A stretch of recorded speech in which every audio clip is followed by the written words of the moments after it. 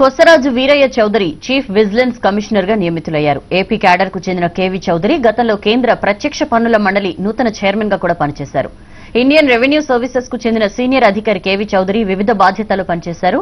Nineteen seventy eight బ్యాచ్కు చెందిన ఆయన August ఒకటిన బాధ్యతలు చేపట్టారు. చౌదరి స్వగ్రామం కృష్ణా జిల్లాలోని కురుమద్దాలి. ఆయన పూర్తి పేరు కొసరాజు వీరయ్య చౌదరి.